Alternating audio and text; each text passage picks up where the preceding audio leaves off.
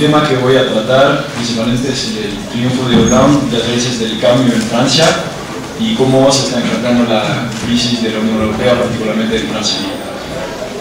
Entonces, a nivel nacional, lo que creo importante saber es que la victoria de Hollande fue una victoria mitigada porque no ganó con tanta diferencia de lo que se esperaba. Apenas 3 a 4% separan el candidato socialista del candidato de la derecha este, Sarkozy. Y creo que es importante recalcar que muchos que votaron por Hollande, me parece, votaron más en contra de Sarkozy que a favor este, de las ideas propuestas por el, candidato socialista. Eh, hay elecciones que se deben aprender de la elección presidencial francesa y, sobre todo de la primera vuelta. En la primera vuelta, la izquierda radical, representada por el Frente de Izquierda, eh, multiplicó su resultado por 5 en comparación con el resultado obtenido en 2017 por la candidata del Partido Comunista. Al contrario, la candidata de la elección de la derecha Marine Le Pen consolidó su fuerte presencia en el panorama político francés y obtuvo un resultado muy alto del 18% de los votos. Eh, entonces estaba muy cerca de los resultados de Nicolas Sarkozy y François Hollande y se consolidó como el tercer partido político en, Francia, la extrema, la extrema derecha. Entonces yo creo que la elección francesa es aclaradora en muchos sentidos para entender la realidad actual europea. Eh, la primera elección para mí es que el vacío político europeo dejó la puerta abierta al resurgimiento del nacionalismo, plebiscitado por electores, sobre todo populares y campesinos, digamos, de, zonas rurales, que se sintieron traicionados por la mundialización, la falta de democracia y transparencia de la Unión Europea, la globalización y por tanto creo que se, se amarró a lo más cercano que lo que, de lo que tenían y lo que conocen mejor, es decir, el Estado-Nación. Este, bueno, la crisis en la Unión Europea eh, es vista en Francia como una crisis económica, pero sobre todo una crisis política, en la cual la gestión de la Unión Europea por los políticos está muy cuestionada. Me parece que a la imagen del movimiento de los indignados, como creo que vamos a hablar, más a menudo, eh, lo que tratan de decir los ciudadanos europeos actualmente es que no entienden realmente lo que está pasando y no tienen los medios reales para resolver la, situación y ya no confían mucho en la élite política y económica que no supo manejar la crisis actual, según ellos. Entonces yo creo que hay, varios problemas en cuanto a la, implementación de nuevas políticas frente a la crisis. La Unión Europea hoy en día es muy dividida. Hollande, recién electo, está a favor de políticas de crecimiento, mientras que la canciller alemana Merkel todavía parece defender su credo de austeridad. También creo que la Unión Europea se está enfrentando con problemas puramente estructurales y que datan desde hace mucho tiempo. Por ejemplo, quieren regresar a las formas de, a las formas de los pactos económicos europeos que imponen, o sea, que limitan el déficit público al 3%. Pero estos pactos nunca fueron realmente respetados, como en el caso de Grecia, de Portugal y otros casos. Y bueno, como en cada crisis, lo que revela es que hay problemas estructurales y la división entre Francia y Alemania es en parte estructural. Alemania por una parte defiende una Unión Europea ahora más económica, con un euro fuerte que le permite mm, seguir con su política de, de exportación, y Francia al contrario quiere un euro menos fuerte. Y, por ejemplo, anteayer el presidente del Banco Central de Alemania recordó a Francia que no se podían renegociar los tratados económicos europeos, que fueron negociados principalmente entre Francia y Alemania y no con los otros países europeos, y que tenía que respetar la política de austeridad para después enfocarse en el crecimiento económico. Entonces, como una, fue como una, un consejo del, del presidente del Banco Central de Alemania, pero sobre todo una él tiene mucha importancia, entonces eso tenemos que recalcar. Hay muchas divisiones profundas que se revelaron, según lo que pienso, en, en la Unión Europea. Es, evidentemente es difícil de gobernar con 27 miembros, miembros y revela también lo que yo entiendo personalmente como disfuncionamientos o falta de transparencia. En Francia, aprovechándose de estas divisiones, la extrema derecha populista propone, una salida pura y simple de la Unión Europea y el regreso a la moneda nacional. La derecha defiende la austeridad y los recortes en los gastos sociales, entonces una política más neoliberal, digamos, mientras que la izquierda socialdemócrata quiere relanzar la economía, pero también se enfrenta con el aspecto de la austeridad que está presente en, en todos los discursos de las, de las, autoridades europeas, como el presidente del Banco Central Europeo y otros, el presidente de la Unión Europea, eh, José Manuel Barroso también, el presidente de la Comisión Europea. Y para terminar, la izquierda radical quiere profundizar la integración europea, pero con un sistema social más elaborado y rechazando completamente la austeridad. Entonces, por el momento se, se, ve que este proyecto parece bastante irrealista porque quieren imponer, por ejemplo, en Francia impuestos a un nivel europeo, un salario mínimo, entonces quieren proponer simplemente más integración y una Europa un poco más federalista, digamos.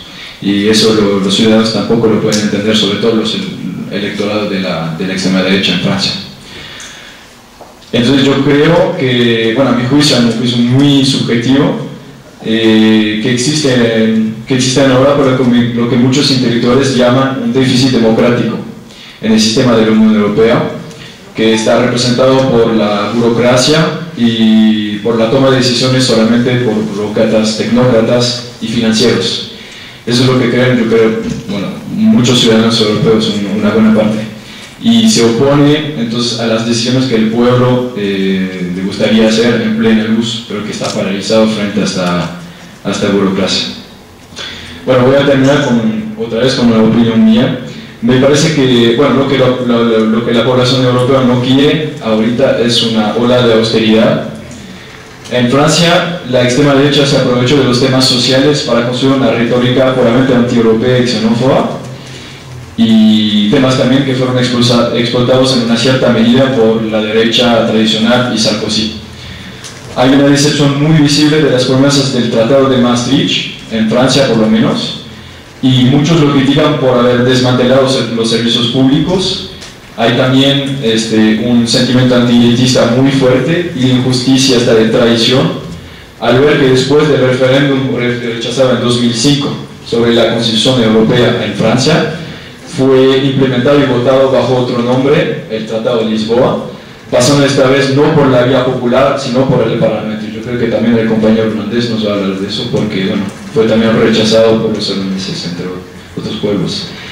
Entonces, como en toda crisis, la solución ahora me parece ser a través de la democratización de las instituciones, a la sociedad del pueblo, a las grandes, a las grandes decisiones para ganar transparencia, resolver los malentendidos acerca de la Unión Europea y tratar de no destruir una institución que básicamente fue creada para unir a los pueblos y no dividirlos. Gracias. Bueno, buenos días. Eh, primero, muchas gracias a la organización, a la asociación por habernos reunido, a vosotros por estar aquí y a los ponentes. Eh, gracias a la organización por ponerme en el extremo izquierdo de la mesa. Muy representado con esta posición geográfica. Eh, para hablar de la crisis, primero creo que habría que decir lo que no es la crisis. Y lo que no es la crisis es el paréntesis que nos quieren vender. Eh, hasta 2008 parece que todo iba bien y a partir de, pongamos, 2015, todo volverá a ir bien, volverá a haber contratos, las empresas eh, serán buenas, los trabajadores tendrán, empleo y, todos serán flores. Eso es mentira, la crisis no es un paréntesis, como tampoco lo fue el nazismo, aunque la historia lo recordó como tal. Eh, la crisis es el resultado, la consecuencia y la agudización de un proceso que hemos estado tragando durante décadas, solo que ahora es multiplicado por 10 en un periodo de tiempo eh, relativamente corto, porque son cuatro años, en el que se apunta a los estados con una pistola y se les dice o tomas esto o no tienes absolutamente nada.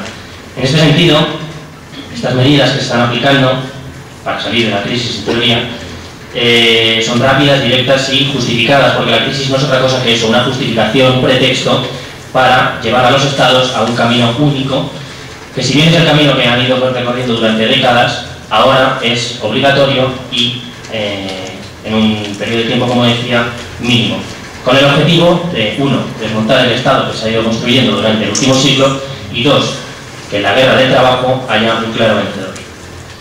Eh, esta rapidez es literal. En España, por ejemplo, cada viernes, y cuando digo cada viernes es cada viernes, se están aplicando medidas y recortes para desmantelar el Estado, para que los servicios públicos sean mínimos y para que los trabajadores no tengan ningún tipo de defensa ante, ante el empresario.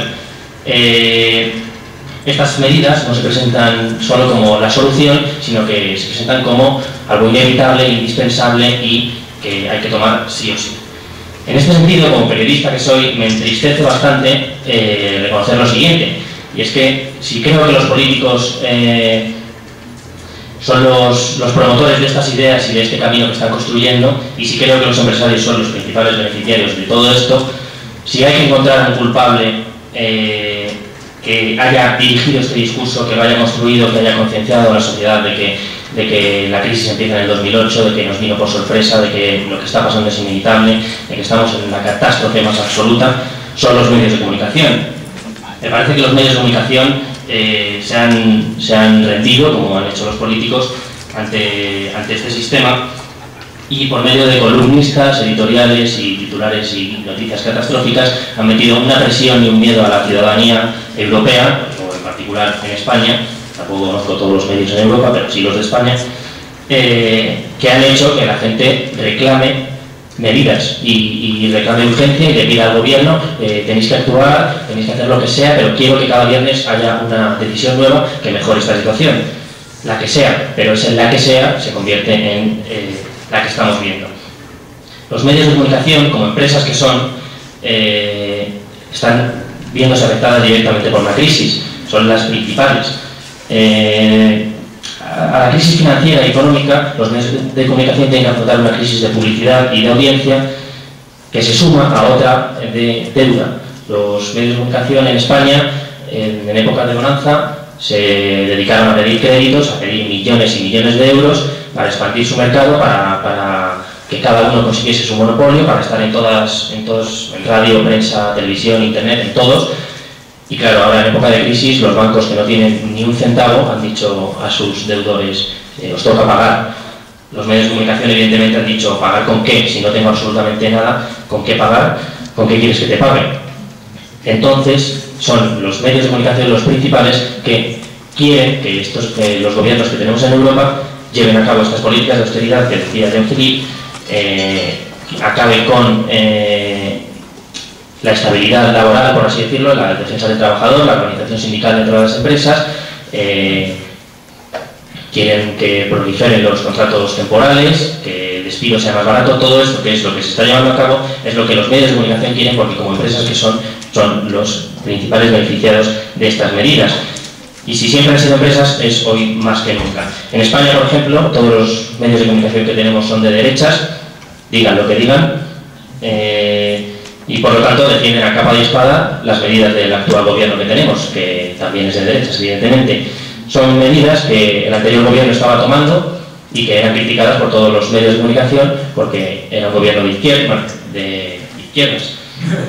Eh, pero ahora, a la derecha, las mismas medidas sí que son bonitas y sí que son necesarias e indispensables. Hay un grupo de comunicación que es el más importante, que es teóricamente de izquierdas, pero durante la última legislatura se dedicó a, destruir al gobierno que había, porque había, hecho, había tomado unas decisiones que no gustaron nada, entonces el medio de comunicación dijo, bueno, vamos a ver quién la tiene más larga, yo voy a ganar esta batalla. eh, derrotó al gobierno, el gobierno se cayó, y ahora que hay un gobierno de derechas, este medio de comunicación vuelve a adoptar ese discurso de izquierdas, porque es más rentable eh, la crítica y, la, y ser un medio de oposición que defender a un gobierno. Lo que no quiere decir que sea un periódico de izquierdas, o sea, un medio de comunicación de izquierdas. Al final todo se reduce a intereses económicos. Y en cuanto a los jóvenes, eh, ¿cómo afecta toda la crisis a los jóvenes? Pues bueno, eh, historias hay, hay millones, millones de historias. En España el 40%, el 45% de los jóvenes está desempleado, frente a la media de la Unión Europea que es del 20%, o sea que la situación es catastrófica. Esto a que nos lleva a jóvenes que viven en sus casas hasta los 28 años, que no pueden salir eh, ni construir una familia, ni independizarse, ni nada, porque no hay un sueldo que llegue a casa, no hay ningún tipo de estabilidad, ni, ni tienen ningún tipo de esperanza, y es la esperanza más allá de la economía lo que, lo que se está hundiendo en Europa eh, a una velocidad desbordante. La gente no tiene... Eh, ganas de pedirle más a la vida, como dice Ricky Martin. Eh, no, no, hay, ningún tipo de, confianza, de, querer hacer, y los jóvenes básicamente, si tuviesen buscar una definición de los jóvenes en Europa, ahora mismo son las prostitutas del sistema que han vendido su cuerpo eh, por unas migajas y encima tienen que dar las gracias cuando les ofrecen un trabajo basura, que son los que están ahora mismo proliferando. Esto que obliga a que los jóvenes se vayan de Europa, al menos en España, los jóvenes están marchando del país y eso es una terrible noticia para, el país porque se está perdiendo una generación entera que no quiere construir España y se están perdiendo unos recursos que se han invertido en educación y información en esos jóvenes que van a disfrutar luego eh, las instituciones de Estados Unidos y no las de España. Así que la situación es bastante más catastrófica y sinceramente creo que acaba de empezar.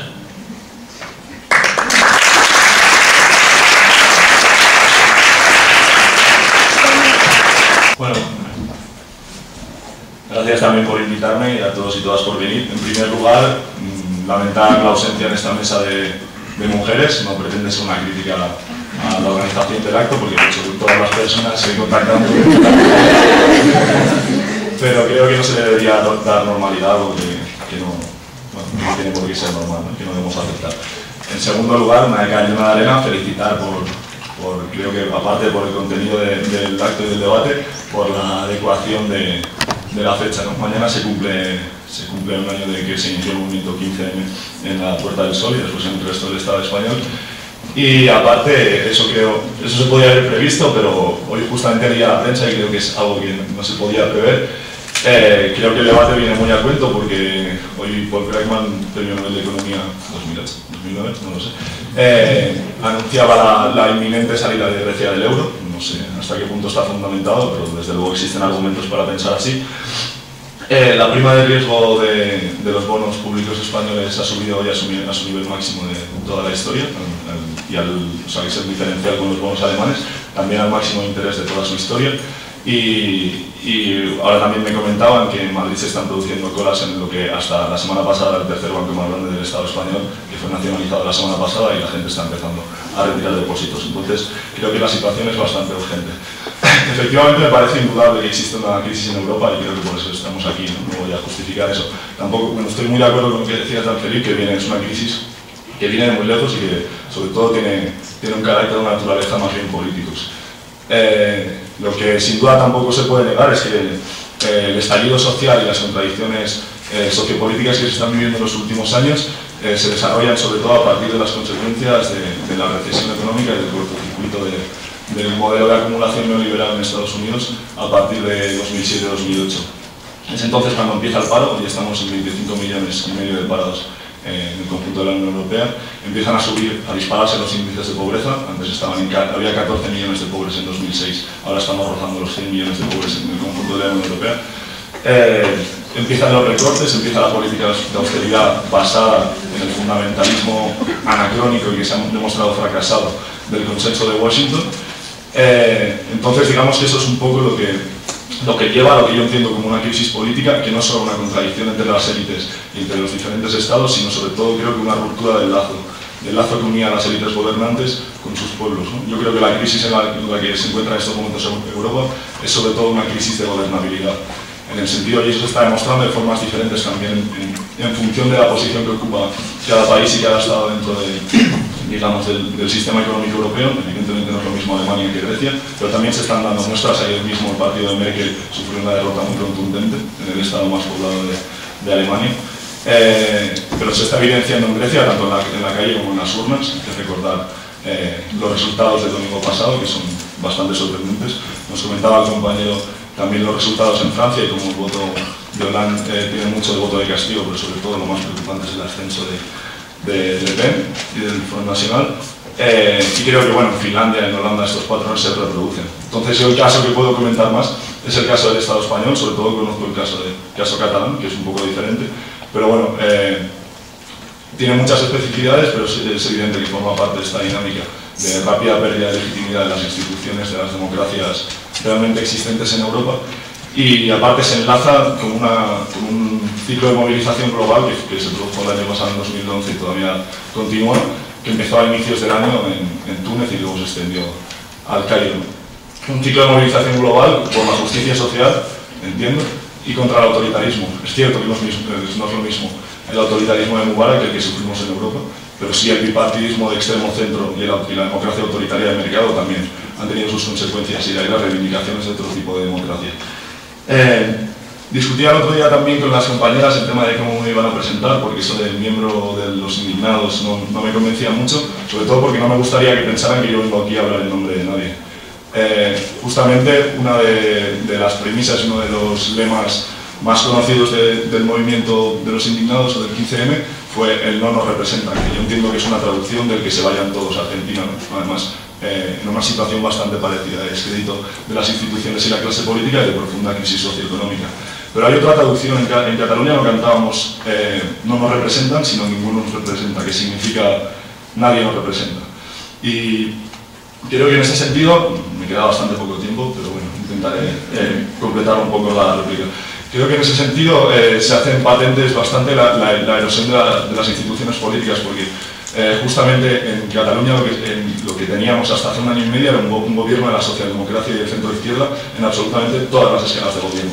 En Madrid, en el gobierno autónomo de Cataluña y en el Ayuntamiento de Barcelona y en la mayoría de, la, del área metropolitana. Creo que ahí es donde empieza a erosionarse, a perder la socialdemocracia y los sindicatos su capacidad y su, funcionalidad sistema, que era la capacidad de integrar eh, este conflicto social.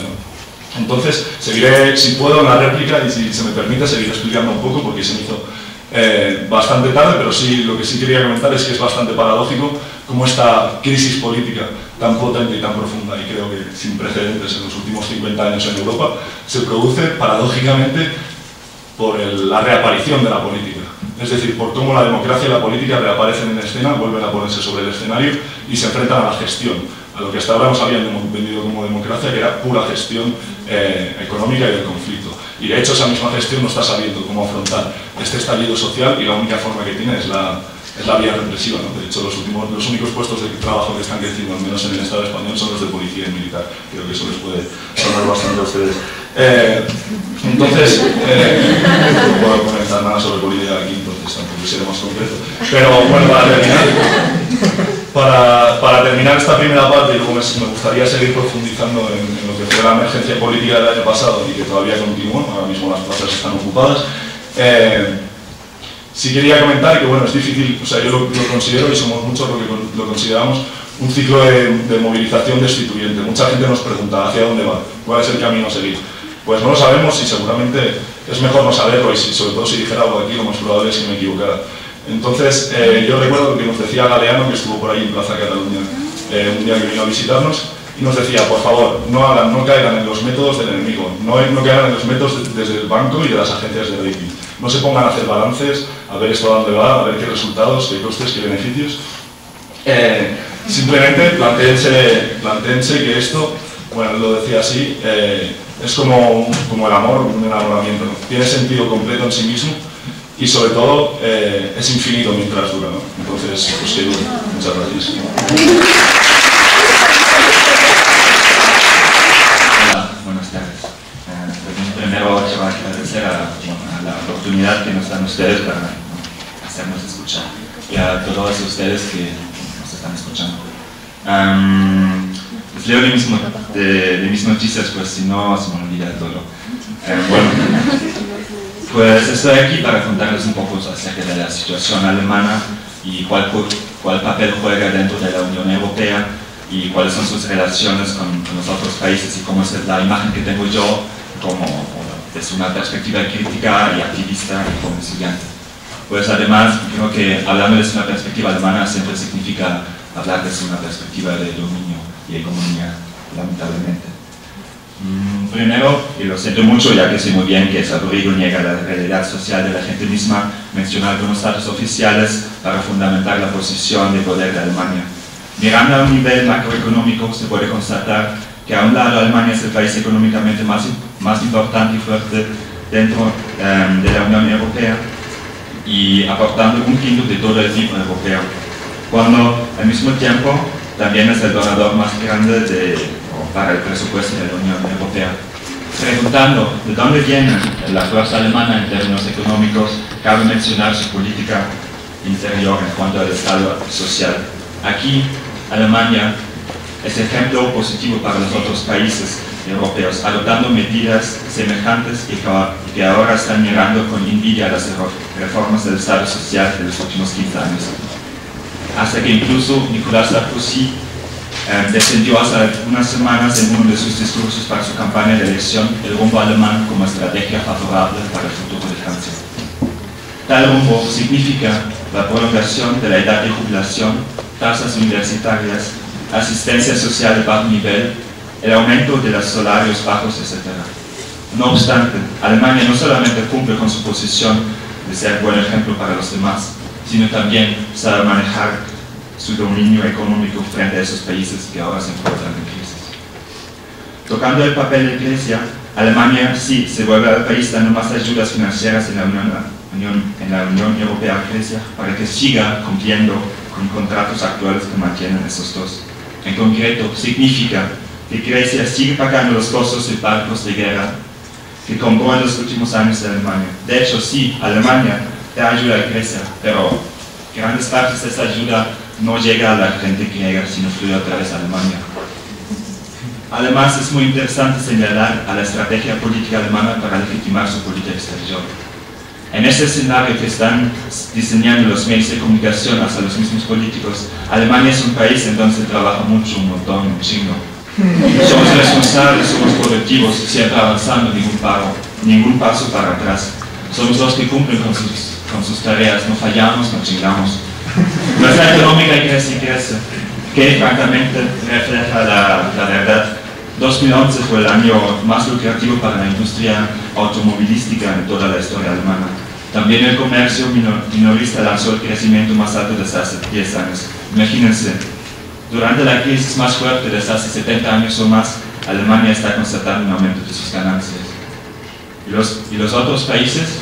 Pues los griegos son algunos flojos que no quieren trabajar. Cada quien tiene su propia cita en el mar y ya no más en serio. así empezó el, discurso hace 12 años del periódico, más, periódico más grande de Alemania. El social chauvinismo es una actitud que ni el gobierno ni la sociedad nunca han desaprendido, aunque de nuestra historia fea y muy peculiar. Siempre, siempre se ha mantenido un discurso para construir un enemigo exterior. En nuestro caso es la gente de Italia, de Grecia, de España, de España, de Irlanda, poniendo nuestra libertad, nuestro bienestar y nuestra identidad nacional en riesgo. Así se, ejerce una hegemonía interna para asegurar y legitimar sus políticas exteriores. Al mismo tiempo, se puede aplicar una modificación del mismo discurso en el interior. Aquí los enemigos son los desempleados, los que reciben asistencia social por parte del Estado, los que no cumplen con cierto imagen normativo y sobre todo los migrantes no importa si nació en Alemania, lo que importa es su sangre. Y sobre todo los migrantes desempleados. Hace 20 años se quejaba la gente que los migrantes le roban sus trabajos y mujeres. Hoy día se queja la gente que los migrantes no quieren trabajar. Pues me interesa un poco ridículo y contradictorio, ¿verdad? Entonces, completando mi otra imagen de Alemania, quiero contar de cuatro acontecimientos que han ocurrido, ocurrido, ocurrido en el último año. Pues tanto el gobierno como su propia sociedad son ejemplo extraordinario de demostrar una hipocresía amplia profunda. Pues el 1 de marzo de 2011, el ministro de Defensa, Karl von Gutenberg, tuvo que renunciar a su oficina debido a un escándalo acerca de sus tesis de doctorado, la cual plagió en gran magnitud. En junio, en julio del mismo año salió a la luz de la publicidad que el gobierno alemán, bajo de una restricción al acceso a informaciones, exportó 200 tanques a Saudi Arabia, justo cuando allá empezaron las protestas contra el régimen autoritario. Ah, por cierto, Alemania se encuentra en el ranking mundial en el tercer, en el tercer lugar de ventas de armamento. Ah, también les damos bueno, armas a ustedes. um, algunos meses después, Casualmente se descubrió que la Oficina Federal de la Protección de la Constitución ayudaba y apoyaba en forma de armas, papeles falsificados y dinero a un grupo de la derecha radical que vivía clandestinamente y mataba a migrantes en los últimos dos años. Y a finales de este año se retiró el presidente de la República Federal, Christian Wolff, metido en casos de corrupción.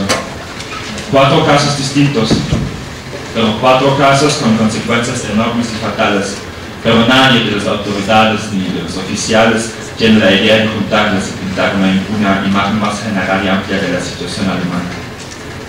Pues al principio les hablé de las cifras macros y que no me gusta mucho. Me les, me les explico. El problema con esa, con esa perspectiva es, sin embargo, la negación de las condiciones sociales en que la gente vive afectada por las medidas neoliberales tomadas por allá arriba. ¿Quién de nosotros pues tiene el derecho de gestionar sobre esas vidas o más bien justificar esas medidas a las cuales nosotros no estamos afectados? La verdad no se ubica en estadísticas macros que sirven para fetichizar el poder, sino en las realidades sueltas de los seres humanos. Las diferentes verdades aquí son las sensaciones, las necesidades, los sueños, los miedos de las personas de las cuales se roba sus futuros. Y los que conocemos esas verdades no nos queda nada de alternativa tomar posición política.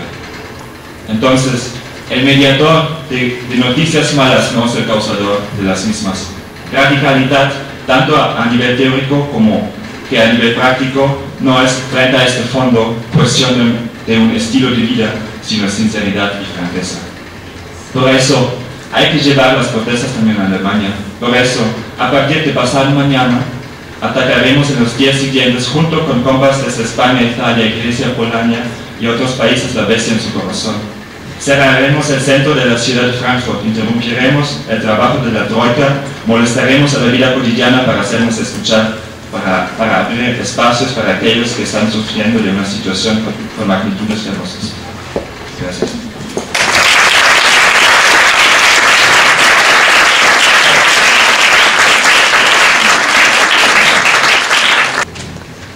Muchas gracias por invitarme también por este debate.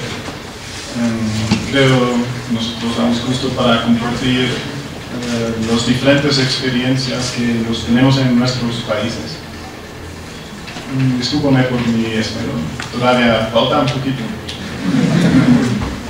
Uh, primero quiero uh, explicar Europa no es Europa, como nosotros pudimos escuchar eh, de las diferentes historias de mis compañeros aquí, de España, de Francia y Alemania. El crisis europeo no, no, está en el punto de, de, Europa. Hay grandes diferencias en el crecimiento entre Europa. Por ejemplo, los países del este forman niveles saludables de crecimiento con los estados bálticos, por ejemplo, cada, cada vez más se crecen como más que 5% en 2011. Entonces ahí, ahí no hay crisis. Ahí los países eh, tienen muchos beneficios para estar en la Unión Europea, en el mercado libre, eh, para hacer negocios y trabajar en los diferentes países, exportar los productos a los otros países en Europa.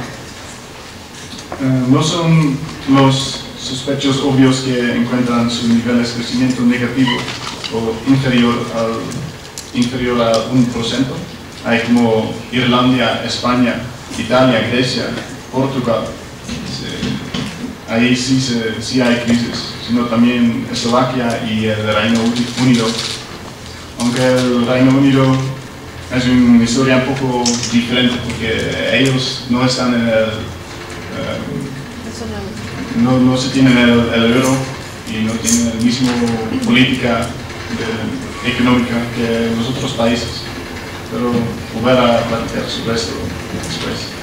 También por los tasas de desempleo hay grandes diferencias. Por ejemplo, Austria, Holanda, Luxemburgo, Alemania y Checoslovaquia tienen como tasas de desempleo de 5%.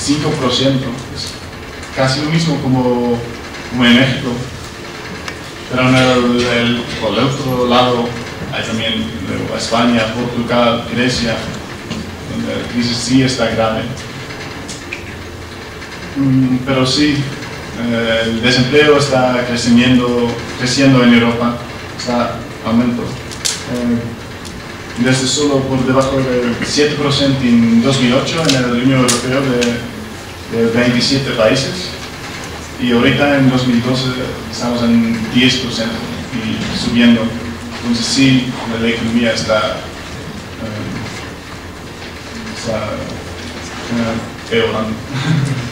Em, cuando nos fijamos más en el desempleo de juventud, hablamos también en España, hay los grandes, está muy grave, como casi 50% de, los jóvenes que salen de la universidad no pueden obtener trabajo. Sí, puede ser una generación perdida, porque cuando no pueden tener este, experiencia laboral, ¿cómo se van a tener un trabajo después? Que los empresas van a preguntar, ¿qué has hecho en este tiempo? Em, entonces hay estos países que tienen estos problemas como Grecia, España, como 50% los jóvenes no tienen trabajo. Y Irlanda, Letonia, Lituania, Italia, Portugal también tienen tasas de desempleo de 30% de los jóvenes. Mientras que los Países Bajos, Alemania, Austria, continúan con un desempleo por los jóvenes muy, muy bajo. Y eso también es por el mercado laboral que está más flexible que, en España, por ejemplo.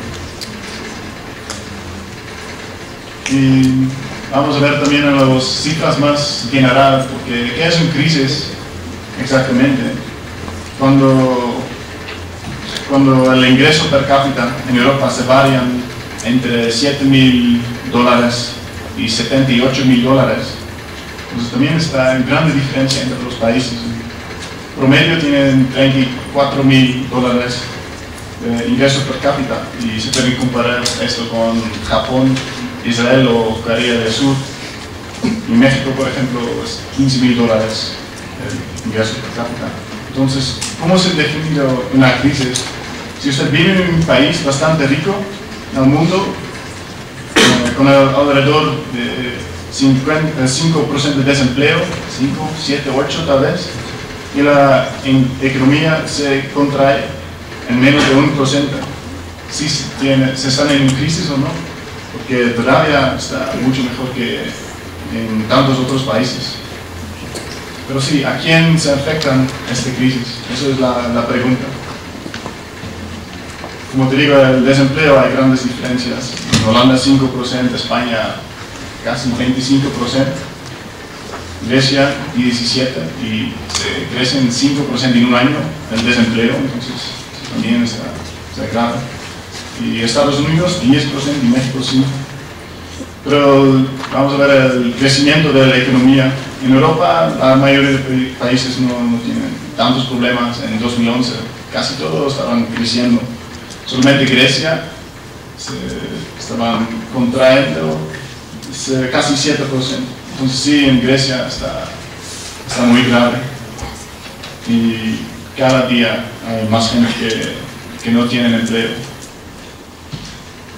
Pero como mi compañero de, de Alemania me dijo, Timo, también eh, hay esta ley en Europa que no, puedes tener deuda de PIB más que 3% del año, o 70% en total. Y muchos países en Europa sí tienen una deuda más grande, entonces por eso hay tantos recortes en Europa y los recortes afectan muchas personas como las pensiones se cortan, la edad de jubilación tiene que subir a 67 años en la mayoría de los países. Y un ejemplo aquí también está Grecia, porque antes en Grecia la gente de la edad de jubilación en Grecia tuvo como 50, 52 años y en Alemania creo como 70, 75 antes. Entonces hay grandes diferencias también. Cuando la gente no trabaja, la economía no puede crecer. Em, también hay cortos en los fondos por la educación. También se afecta mucho el desarrollo del país, el desarrollo tecnológico. Y esos cambios también tienen gran efecto en la política. Por ejemplo, en Italia ahorita se tienen con Monti un nuevo gobierno que, que no son políticas, que que son 20 de, empresas. Entonces no es una democracia ahorita. Y Italia, eso es el ejemplo de Italia, y Grecia también se han cambiado. El gobierno tiene problemas para formar un gobierno nuevo, y Francia se cambia, Holanda se cambia. Entonces, sí, estas cosas dan esta eh, inestabilidad a, los países políticos. Y sí, es una crisis política ahorita. Gracias. todo agradezco la invitación a este espacio de diálogo, me parece importantísimo, además me gustó mucho el formato de, de, debate, creo que sí debe ser un debate. Eh, habría quizá que, que, que pensar en hacerlo muy flexible y funcional, y espero que así sea. Eh, pero en todo caso creo que es una iniciativa espléndida por parte de, los estudiantes, se han adelantado los profesores, me parece estupendo. Hay que decir, sin embargo, que este tema también se va a tratar en el Coloquio Internacional de Primavera, hay un espacio para una discusión académica sobre esta, esta cuestión, pero creo que esta es eh, una buena iniciativa y me parece que eh, hacer frente al tema de la crisis europea no es nada sencillo. Como se ha visto, Europa no es un paraíso, ¿no? creo que ningún país de Europa lo es en este momento, quizá nunca antes lo, eh, había sido, siempre había habido contradicciones, problemas de, de, de todo índole, eh, pero hoy en efecto, un poco lo que escribí para esta esta ocasión se llama Europa, una mirada al borde del abismo. Eh, vivimos tiempos muy interesantes, tiempos realmente en que dominan las noticias. Hemos estado oyendo a la mesa muchas noticias, una gran cantidad de información, noticias, estamos al pendiente de lo que pasa en Europa, lo cual es no tan frecuente. Antes lo dábamos como un espacio más bien tranquilo, estable, ¿no? consolidado, interesante para observarlo en términos académicos, pero realmente no tan apasionante. Y ahora es realmente un espacio donde las pasiones políticas están aflorando en razón de la crisis. ¿no? Eh, bueno, yo creo que no es fácil tomar distancia con respecto al objeto de estudio. En México tenemos, tenemos esa ventaja de perspectiva, estamos lejos, no nos toca tan, tan directamente el punto, es una ventaja de, de, observación. Nuestra observación es siempre de un segundo orden, es una observación sobre, sobre, sobre, sobre observaciones, lo que nos da en efecto capacidad para, para, profundizar. Y el tema es eh, evitar caer en el discurso periodístico, evitar hacer moral antes que análisis, hacer análisis, ¿no? tomando en cuenta, sin embargo, una perspectiva ética. Esto es un proyecto, proyecto de, digamos, de, posicionamiento con respecto al, tema, al tema de la crisis. Y bueno, creo que eh, es importante decir algo, en principio, muy poco tiempo, pero aquí. Eh, creo que mm, desde finales del siglo XX y, con lo que va del siglo XXI, estamos viendo un problema fundamental que es el problema del agotamiento de las, de las energías utópicas. Con el fin del socialismo se acabó una etapa, un proyecto, un proyecto de matriz utópica, y nos quedaban pocas cosas, una de las que nos quedaban o nos quedan todavía es precisamente la, eh, eh, Unión Europea, que se ha visto como una última utopía, una utopía pragmática, una utopía fundada en negociación, en cooperación, en acuerdos voluntarios, ¿no? que sin embargo estaba, ha estado firmando pues, un esquema de Estado de Derecho, de democracia, de libertades, ¿no? de desarrollo económico, de estado de, de, de bienestar, sobre todo que es algo muy, eh, muy eh, eh, importante, y ahora la crisis nos muestra otra cara de esta utopía que está ordenadamente al borde del abismo. Hacemos caso a Krugman, aquí se, aquí se, se citó al principio, eh, estamos a pocas semanas de que el euro quiebre. Nada, nada menor la, la perspectiva que, que, que plantea Krugman, una quiebra del euro, va a arrastrar de manera necesaria a todo el proyecto de integración, a poner en cuestión todo lo que se ha ido conformando en los últimos cincuenta y pico de años, ¿no? y que ha, servido como referente de algo muy importante, que es un esquema de gobierno postnacional, ¿no? una entidad supranacional capaz de enfrentar los avatares, las, las, turbulencias de la economía global. Eh, la Unión Europea tiene un valor en sí mismo, tiene un valor importantísimo en términos de desarrollo político, es, un, es superior de desarrollo político y esto no hay que perderlo de vista. Esto no quiere decir que se deje de criticar a la, eh, eh, Unión Europea o a la democracia europea como tales. Eh, pero bueno, en términos de análisis, tenemos que irnos un poco, digamos, a lo que es la génesis de la crisis. La crisis no fue causada por Europa, la crisis provino de la quiebra de Lehman Brothers, de todo el sistema financiero especulativo de Estados Unidos, tiene repercusiones en, en Europa. En Europa hay una, fuerte inestabilidad eh, financiera en 2008 que es resuelta por la intervención del Banco Central Europeo y los gobiernos en, en cooperación para poder eh, evitar una crisis de liquidez. Se salva ese escollo, ¿no? pero las turbulencias permanecen y se transforman en eh, una, crisis, una crisis bancaria cuando comienzan a estallar las, eh, las eh, burbujas hipotecarias, de manera principal la de España que tenemos todos en mente. Entonces, bueno, hay, una condición muy distinta en Europa, como se acaba de, señalar, no todos los países están en crisis, hay países que están más bien en, condiciones de estabilidad y de ventaja, hay otros que sí están en condiciones muy, muy difíciles. Eh, tras la primera fase de la crisis viene la segunda fase de la crisis, que es la crisis de las deudas soberanas.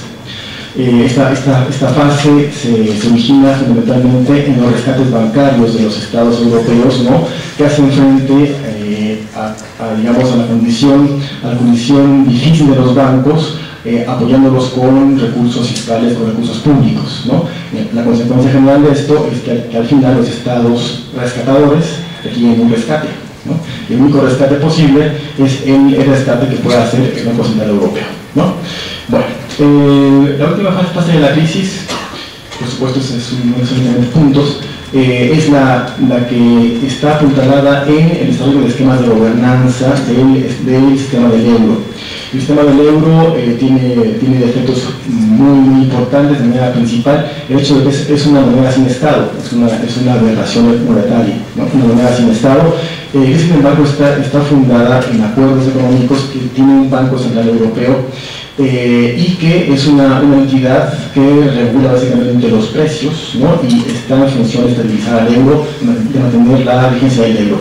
Eh, se han establecido esquemas de gobernanza interesantes, de manera principal, para ir muy rápido, eh, el, sistema, el sistema europeo de estabilización, que podría funcionar hacia adelante como una especie de fondo, fondo monetario europeo. Y aquí un poco la, cuestión está en, precisamente qué se puede hacer en este momento con la, con la zona euro, que es lo que se está, se está. Bueno, hay varios, eh, varios puntos al respecto que se pueden, se pueden reconocer. Eh, primero, reconocer que es una crisis económica sistémica, ¿no? que está vinculada al sistema del euro. Segundo, articular, eh, articular medidas adecuadas de tratamiento fiscal con medidas de estímulo económico por parte de las economías con capacidad de reactivación y tercero, firmar decididamente la gobernanza de la zona euro en el sentido de un sistema efectivo de apoyo a las economías bajo, la, bajo presión eh, eh, de los shocks asimétricos a través de, la conversión del mecanismo europeo de estabilidad en el Fondo, en el fondo Monetario Europeo, al tiempo que establecer una mecánica racional para un mercado de eurobonos eh, y eh, dotar de capacidades efectivas a la Junta Europea de Riesgo Sistémico entre otras medidas posibles. ¿A qué voy? A que la batalla todavía no está perdida, que hay todavía un espacio, espacio de manejo de la crisis que va a ser, importante. Eh, creo que estamos entrando en una, fase, complicada pero importante de la crisis sobre la base de una serie de ajustes fiscales, de un tratamiento fiscal indispensable hacia medidas de crecimiento.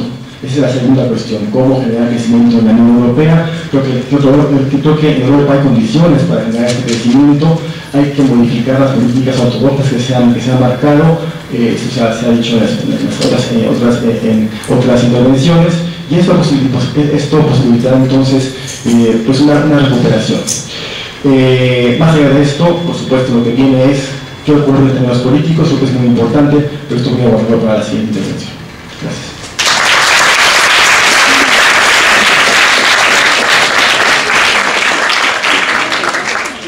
gracias. Ahora vamos a pasar a la segunda parte del evento, que es la réplica.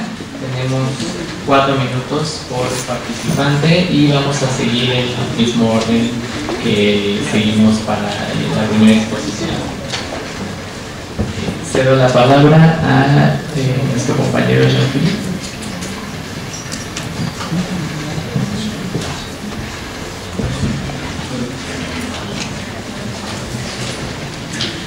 Bueno, muchas gracias. Bueno, yo creo que se, bueno, claramente se, se dijeron cosas muy, muy interesantes y bueno, no voy a tener el tiempo de detenerme sobre todas, pero este, primero la verdad sobre lo que dijo el profesor al final que me parece muy importante, el agotamiento de los proyectos utópicos en, Europa y la Unión Europea como, como última utopía.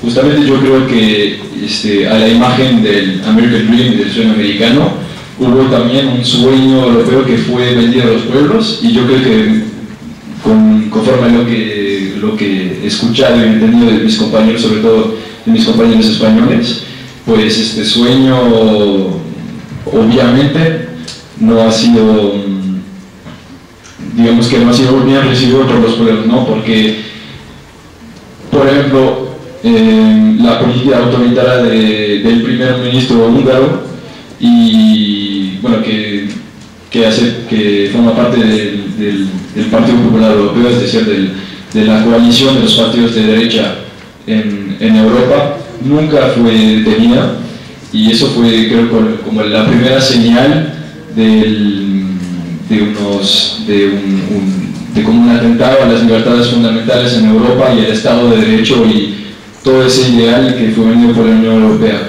Yo creo que el, el, problema principal es que la Unión Europea es básicamente, es principalmente económica y nunca fue seguida realmente por un, una estructura, una estructura de, gobernanza política eh, bien formada, digamos. Y en eso estamos, ¿no? en la crisis que hay un problema de gobernabilidad de política y económica muy grave. ¿no? También eh, lo, que, lo que saltó a la vista en, Francia, por lo menos, es la, la importancia de la, de la finanza, de la finanza global en los asuntos europeos. Por ejemplo, el punto común entre Monti, el primer ministro italiano, el ex primer ministro griego y Mario Draghi hasta el, hasta el, el, bueno, el presidente del, Banco Central Europeo hasta el ministro de la Economía Española es que todo estaba, todos estaban en el Consejo de Administración de Goldman Sachs, el famoso banco americano. Entonces yo creo que por eso también hay, hay una decepción enorme del pueblo europeo y también una, una impresión que los burócratas y los financieros están tomando el control de los asuntos europeos a pesar de todo lo que, de todo lo que estamos escuchando. También hay, un, hay, un, hay ciertos malentendidos y la población europea no sabe quién confiar y cómo relanzar la economía y me parece que hay unos, eh, unas contradicciones en la crisis que son muy visibles. ¿Cómo explicar los recortes sociales y lo que dijo, por ejemplo, el, el compañero alemán, eh, que la industria de, de, automóviles, lo que sea, eh, están haciendo más ganancias que nunca, que sea en Estados Unidos o que sea en Europa. ¿Cómo justificar eh, recortar en la, en la educación, en gastos sociales de primera necesidad, en también gastos sociales hacia los desempleados, hacia los más pobres y los más vulnerables, mientras que los, los más potentes, digamos, están haciendo cada vez más ganancias. Yo creo que eso es, un problema muy importante ahora de que la Unión Europea se debe de explicar y, y bueno, eh, básicamente eso eh, sobre la, bueno, para, para volver sobre la, sobre la, esta utopía europea, yo estoy de acuerdo que hay que hay que relanzarla de nuevo, pero como eso es todo el problema, yo creo que con más transparencia, con más democracia. Y en ese sentido voy también con las explicaciones del compañero español Víctor, con los medios de, comunicación que, bueno, muchas veces han, ocultado ciertos hechos. Y sí, claro, claramente estoy completamente de acuerdo con el profesor que se, tenemos que reordenar, eh, tenemos que hacer una reforma fiscal en todos los países europeos y a nivel europeo si se puede hacia el crecimiento, pero hacia más ética, más justicia social y más igualdad. Gracias.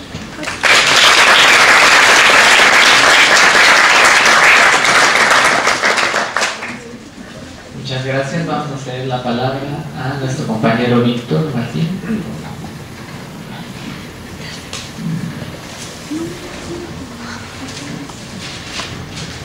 Bueno, se habla, de, se habla de crisis política. Yo creo que precisamente, bueno, el compañero Carles sacaba el tema de los indignados y del 15M. Lo que más valoro de ese movimiento es que la política ha vuelto a la calle eh, y eso asusta a la gente que, que no está en la calle, son los dirigentes. Eh, ahora citaba a no caigan en los métodos del enemigo. Pero ¿qué pasa cuando el, movimiento se convierte en sistémico? Si se convierte en sistémico, acabará cayendo en los métodos del enemigo. Por lo tanto, eh, un movimiento así solo puede ser antisistémico.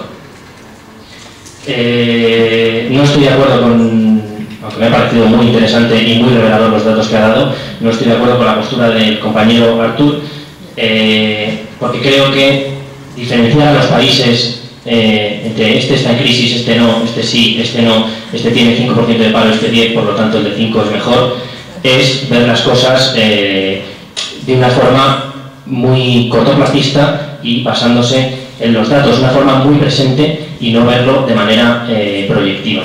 Eh, creo que la crisis es sistémica y nos afecta a todos, a unos más que a otros, evidentemente. Grecia no está al mismo nivel que eh, Letonia, pero si seguimos por este camino, Letonia acabará en el, en el mismo sitio que, que Grecia.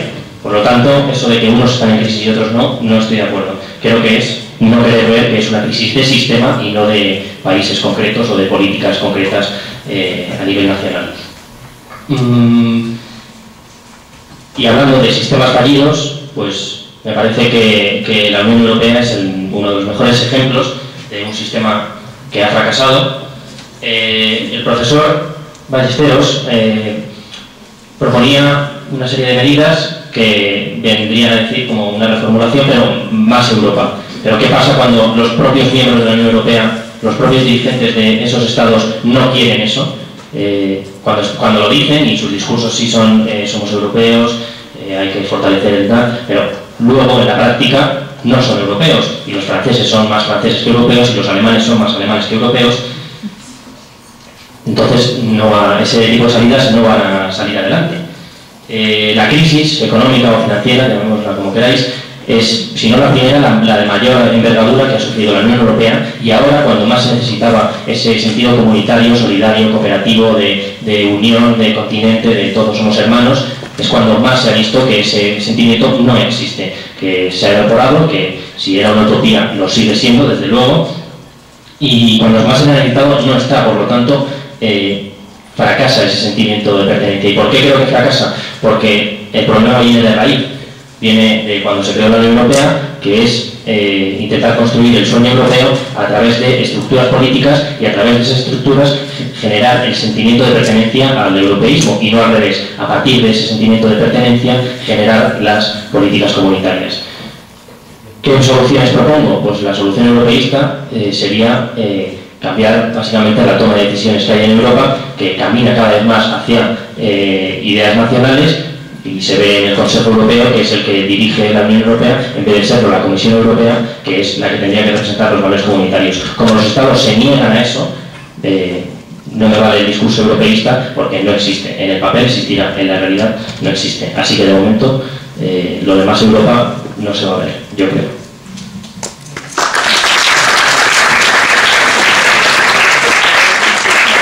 Únicamente por la contención de la inflación que beneficiaba a los intereses crediticios de los bancos, sobre todo alemanes y también eh, norteamericanos, en ese sentido eh, nos muestra la clave. Entonces no creo que las, los diferenciales del paro sean, sean pura casualidad, sino que una dinámica de centros en periferia, digamos. Entonces vamos a ver, o sea, creo que el crecimiento de, los países del este se debe en gran parte al hecho de que durante mucho tiempo no han estado vinculados a, la Unión Europea y no, no, se han visto sometidos a, a esas relaciones desiguales de intercambio. Eh, entonces iría con bastante cuidado. Eh, creo que nadie ha dicho esto, pero sobre todo para que no se, las interpretaciones no sean demasiado automáticas, iría bastante eh, iría con mucho sigilo a la hora de, asociar el tema de la flexibilidad o de la, de la, deuda pública. Por ejemplo, el Estado español, en el momento en que estalló su crisis de deuda, tenía una relación deuda-PIB mucho más baja que Alemania y Francia. O sea, tiene bastante poco que ver. Y de hecho la deuda privada era mucho más importante. La deuda de las empresas, o sea, privada, no tanto de las familias, sobre todo de empresas, era mucho más importante que la pública. Y respecto a la flexibilidad, en el Estado español, en los 10 años previos a la crisis, el 60% de cada contrato nuevo que se hacía era precario, que creo que es lo que eh, los economistas asocian al concepto de flexibilidad. Entonces se, preguntaba, se lanzaba la pregunta, que creo que es bastante interesante, sobre qué es una crisis. En un sentido económico, en una crisis eh, capitalista, yo creo que es una ruptura del, ritmo de acumulación de un determinado modelo productivo y eso se ha producido. O sea, sí estamos en crisis. Tal vez en Alemania la crisis económica no sea tan profunda. Yo me refería a otra crisis, que es la crisis de, gobernabilidad, y creo que en ese sentido la crisis es, como lo ha definido en una de sus novelas eh, Martin Amis, es una viuda embarazada. El padre ha muerto, la madre no se sabe qué puede pasar, y ya veremos qué hijo. Si se, si se llamará Le Pen, si se llamará Utopía Democrática, si se llamará Europa de los Pueblos, en, última instancia, depende de la organización y, de la correlación de fuerzas. Al final no es una simple confrontación de ideas, sino estos debates, eh, este futuro se, se, va a dirimir en la calle. Y bueno, aquí dejaré mi intervención.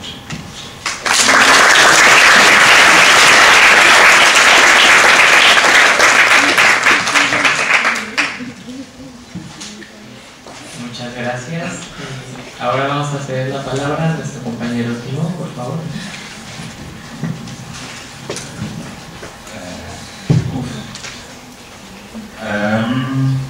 Bueno, creo que el papel de la Unión Europea, cabe señalar que la, la idea que nació hace, en los 50 del último siglo siempre fue acompañado con una, con una, imagen de una integración política. Entonces, no estoy tan de acuerdo con lo que dijo Jean-Philippe, que solamente es algo económico, a nivel económico. Um, y la gran disputa que desde hace no sé, esas décadas existe entre los, los, países es um, cómo, cómo, andar con la soberanía de los estados nacionales. Entonces la, la cuestión es, ¿favorecemos um, la intergubernamentalidad o favorecemos la supranacionalidad? Pero de hecho creo que hoy día, con estas medidas neoliberales que están tomando los estados, esta cuestión desaparece al final a través de las privatizaciones, a través de las deregulaciones de los mercados, de los mercados nacionales, también desaparece esta cuestión, porque las decisiones um, se trasladan a un nivel ajeno de, base de la gente que no tiene la posibilidad de um, decidir sobre los asuntos relevantes que, están afectando nuestras vidas. Um, decisiones que deberían ser tomadas democráticamente están trasladadas a instituciones privadas o algo así, o a órganos o instituciones dentro de la Unión Europea que creo que nadie de nosotros entendemos muy bien. Creo bueno, de hecho, en Alemania, o la gente que conozco yo allá, no tenemos ninguna maldita idea de cómo funciona la Unión Europea, um, porque es demasiado complicado, vinculado y todo. Y Artur dijo, Europa no es Europa. Bueno, claro, ¿no? Pero creo que hay que, hay que profundizarlo un poco más, porque cada centro necesita su periferia tanto, bueno, es decir, que Alemania solamente tiene su, posición de dominio o algo así, porque hay países que están, bueno, que se encuentran en una posición más jodida, ¿no? Entonces, y, y aplicándolo a, a la realidad mexicana, como aquí también se puede constatar una integración regional a través de con el TELCAN o con ASPAN o con Plan Puebla-Panamá o Plan Mesoamérica o Corredor Biológico Mesoamérica, no sé qué. Y aquí también sí se puede constatar una, una integración y sí sabemos todos que, claro, a nivel macro, México ganó mucho en los últimos 18 años, ¿no? el PIB creció y también las ganancias absolutas um, aumentaron, pero por favor, todos nosotros sabemos muy bien cómo, cómo parece la realidad en la calle.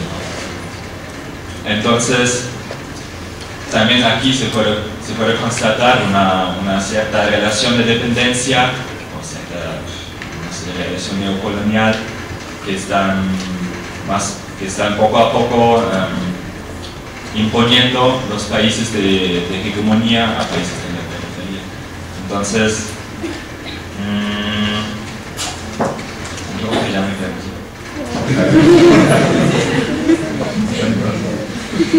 Ah, va, sí.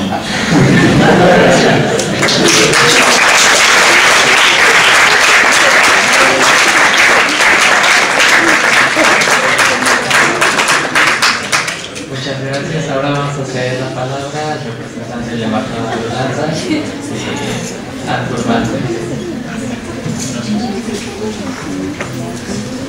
Sí, yo quiero dar una palabra más por, por el Unión Europeo, que sí ya creo es una buena cosa por los países y todo, tienen grandes beneficios con este unión pero, eh, económico, pero también eh, político. Y eso es, eso es muy importante para hacer este link, que también el Unión Europeo tiene que ser político.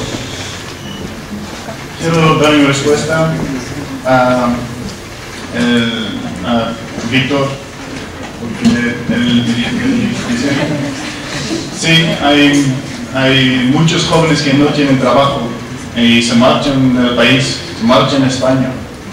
Y sí, por eso, por eso se tiene que dividir Europa. No puedes decir si Europa es Europa. Tiene que te- tener una dif- diferente política en España, se tienen que eh, reformar el eh, mercado lab- laboral, se tienen que bajar el sueldo por la gente que, que sí tienen un buen trabajo, que sí que, que tienen un, un contrato por, por algunos años y sin límites. Porque cuando tú bajas el sueldo, tú ganas competitividad. Y eso son las cosas que Alemania y Holanda han hecho. Nosotros, eh, el sueldo no, no se cree, no han creciendo tanto como en España y Portugal y Grecia.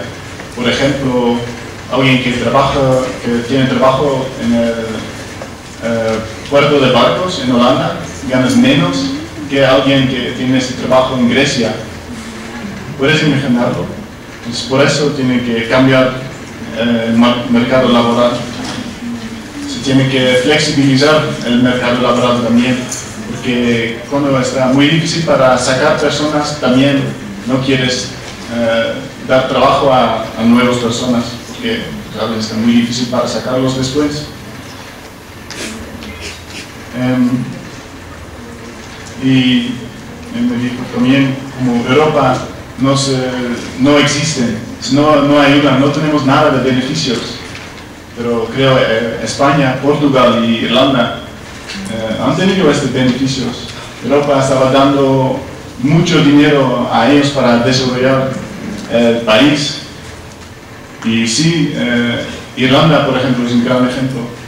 Ahí esta economía estaba creciendo mucho en los últimos 20 años, 25 años que Europa estaba ayudándose. Y ahí sí tienen esta crisis, pero crisis de bancos. Y cómo, cómo Irlanda estaba resolviendo esta crisis. Nadie escucha más de, de Irlanda ahorita, pero eh, se empiezan casi con Irlanda. ¿Y qué, qué Irlanda han hecho? Ellos estaban bajando el sueldo y ganando competitividad. Eh, este país tenido en, eh, esta economía estaba contrayendo mucho eh, los primeros dos países, pero ahorita ellos están creciendo y todo cre- creen Irlanda va a pagar el Unión Europeo y el, eh, Fondo Mundial. Entonces sí se pueden, sí se pueden con Europa, con esta ayuda. Y, Jean, de Francia, sí. Algunos países han tenido este sueño de Europa. Sí, Europa tiene todo. España, Grecia, Italia. Pero si, no cambian eh, política también estaban eh, utilizando mucho dinero y no, no, no se ahorran. Entonces sí, falta, eh, falta algo de, de política. Y él dice también, también Monti y Draghi son de Goldman Sachs, entonces, ¿cómo, ¿cómo pueden confiar en ellos? Pero, ¿qué banco ganó en esta crisis? ¿Qué es el único banco que estaba ganando dinero por la crisis? Goldman Sachs también. Gracias.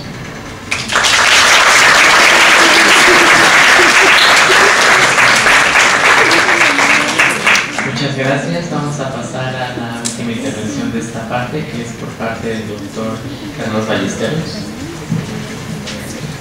Sí, pues gracias. Bueno, son, son demasiadas cosas, porque el tema es muy, muy amplio y muy complicado. Eh, yo regreso al punto que estaba planteando y con unas ideas que se han, se han eh, definido en la mesa, eh, al punto de que, bueno, ¿qué, ¿qué, puede ocurrir en las próximas semanas, meses si, eh, si Grecia sale, sale del euro? ¿no? Es un poco la, la amenaza velada y no tanto de, de, de, Alemania. Ya no nos importa Grecia, se puede ir el euro, podemos absorber el costo de esta crisis y el problema de los griegos lo que pase después, ¿no? con su país eh, y sus dragmas, ¿no? euros, euros que dan dragmas. Eh, y bueno, pues eh, creo que esta realmente es una posición exagerada por parte de Alemania, lo que sí les, sí les importa mucho lo que pasa en Grecia, porque si Grecia saliera del euro sería un precedente nefasto y arrastraría al resto de las economías, ¿no? habría de inmediato una fuga de capitales, lo que de capitales en España, ¿no? iría ese, esos capitales irían a Alemania, Alemania estaría mucho más fuerte y España estaría en una debacle financiera absoluta y no habría quien pudiera rescatarla dado el peso de la economía, igual, igual, igual se puede pensar en Italia o en Irlanda. Entonces realmente la quiebra del euro es un tema, un tema mayor y preocupante, no nada más para los europeos, también para nosotros, para, todo, para toda la economía mundial. ¿no? Una parálisis europea definitiva, una recesión profunda de Europa afectaría al conjunto de las economías y en principio tendría un efecto, un efecto financiero nefasto sobre el dólar y el resto de las monedas ligadas al dólar. Es un punto. Eh, luego está eh, un poco la, la, idea es la cuestión financiera se, tiene que, se tiene que resolver de manera financiera ¿no? que hay ya avances importantes pero incompletos creo que Europa, la Unión Europea no está a la altura del reto financiero que se está planteando creo que tiene que, que radicalizar mucho más sus medidas ¿no? para lograr una mejor coordinación fiscal ¿no? y ver la manera de poder apoyar efectivamente a las, a las economías que sufren shocks asimétricos creo que eso es algo, elemental todo ocurre en el rumbo de una, de una lógica más federativa de la economía europea que aún no está definida y que era asistida por los países más fuertes. Y luego está el tema económico, decíamos que creo que hay que ver la crisis europea en 3D, al menos en tres dimensiones, la financiera, la económica y la sociopolítica. En el, en el caso de la, de la economía, creo que Europa tiene condiciones para un despliegue económico, una recuperación en un plazo medio, es una buena cosa que no todos los países, no todos los países sean, iguales. Qué bueno que Alemania está fuerte, ¿no? porque no va a tener que pagar la crisis. Eso me parece, definitivo. ¿no? Tiene muchísimos ahorros, eh, los capitales fluyen hasta Alemania, tienen que invertirlos en alguna parte. ¿Qué mejor que invertirlos en la recuperación de la región europea, de la cual ellos obtienen sus mejores beneficios económicos? Hay una lógica económica que está puesta ahí, hay elementos de la economía europea que pueden reactivarla, hay que, hay que buscar la manera, tiene, tiene, que buscar la manera de cómo hacerlo, pero es posible. Lo que, lo que recomiendan son incentivos fiscales en Alemania, lograr tener empleo, generar una demanda agregada superior para que las economías de recesión puedan recuperarse, que España exporte más a Alemania y esto reactive la economía española, por ejemplo. Y por último está toda la dimensión política, que es el principal. A ningún gobierno le gusta enfrentar la crisis. La crisis ha, ha llevado a debate a cantidad de gobiernos, de izquierda y de derecha, ¿no? el de Zapatero, el de Portugal, el de Islandia, al mismísimo Sarkozy, que estuvo tan, al lado de Alemania, ¿no? empujando una, solución europea, se fue. ¿no? Y está Hollande, que no tiene mucho que hacer desde la perspectiva francesa. La solución es una solución europea, quieran los europeos o no. ¿De qué manera? Hay, hay, hay, que, hay que vislumbrar, hay, hay que analizar. Eh, creo que la presión social es importantísima, a mayor presión social tiene que haber soluciones de mayor nivel. Eh, lo que veo, sin embargo, son defectos estructurales los movimientos eh, indignados, los movimientos sociales europeos, que no alcanzan realmente a tener una dimensión tal europea. Están todavía moviéndose a escala nacional, veremos si pueden trascenderse a sí mismos y tener una visión mucho más comprensiva, más importante, más radical y más racional.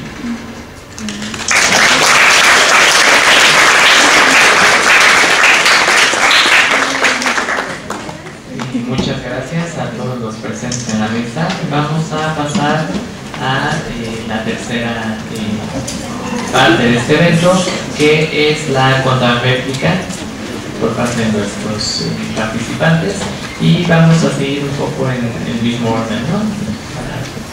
Para responder las preguntas. Gracias. Bueno, obviamente estoy de acuerdo con lo que se ha dicho de encontrar una solución, digamos, europea a problemas probablemente europeos, pero hay muchos problemas que se plantean acá. Bueno, primero voy a, detenerme un segundo sobre lo de, de Goldman Sachs.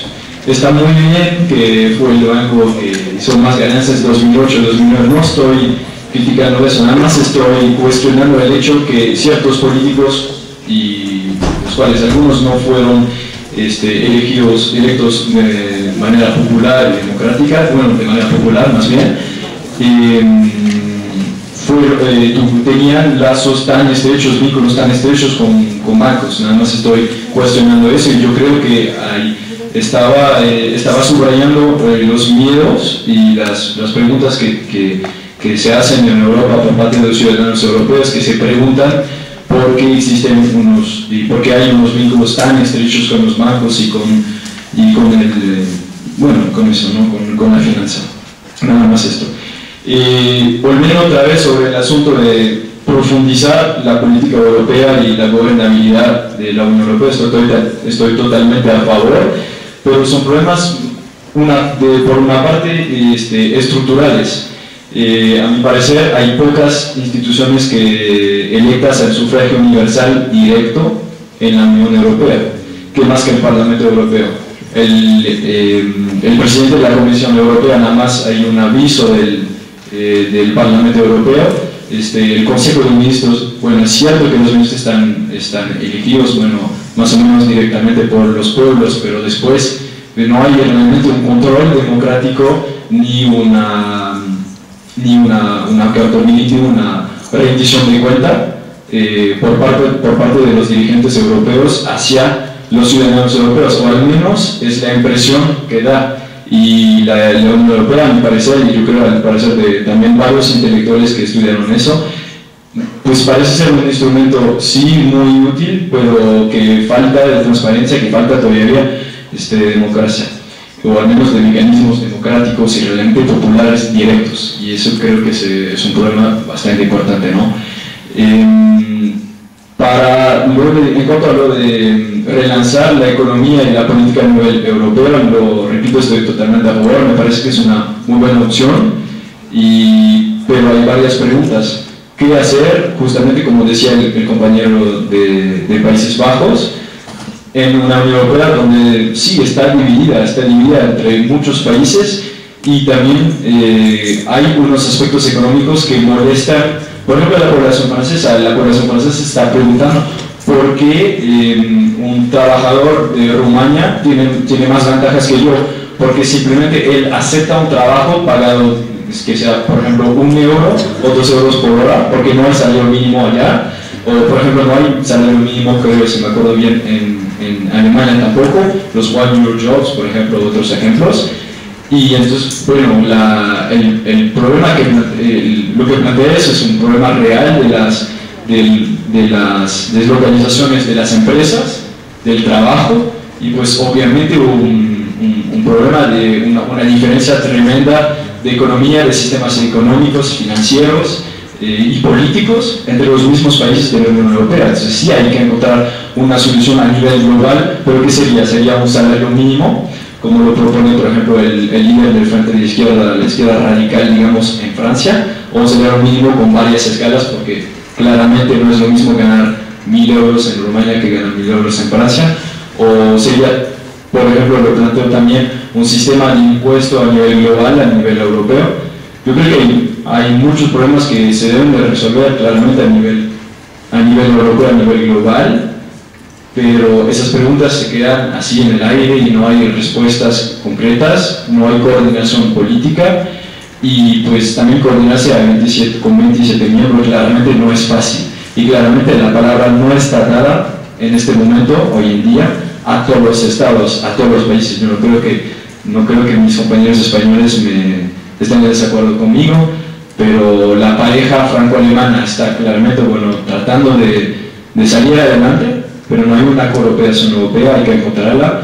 ¿De qué manera? Eso lo planteo, no tengo los, conocimientos ni el análisis, ni el análisis eh, suficiente para, para profundizar eso, pero nada más quería plantear. Gracias.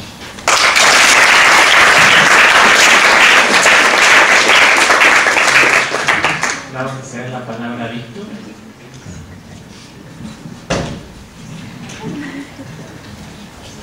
Bueno, a mí me gustaría incidir sobre la guerra, la guerra del trabajo, porque me parece que es la clave de lo que está en juego y que es lo más preocupante. Eh, se hablaba de reformas laborales, de las medidas anticrisis, eh, la flexibilidad para abaratar el despido, pero también para que haya más facilidades para contratar. Y sí, puede que se de eso, pero eso no deja de parecerme eh, pequeños parches para mejorar un poco la situación actual.